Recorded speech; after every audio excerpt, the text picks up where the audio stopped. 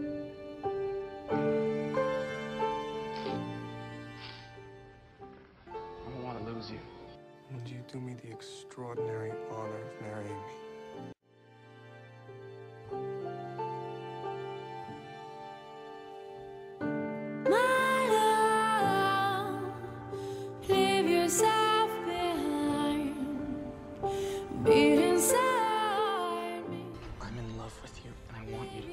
instead of him.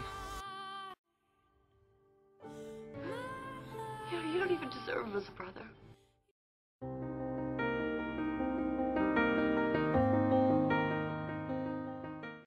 To consider the idea that I might be better for her than you are. I can keep up with.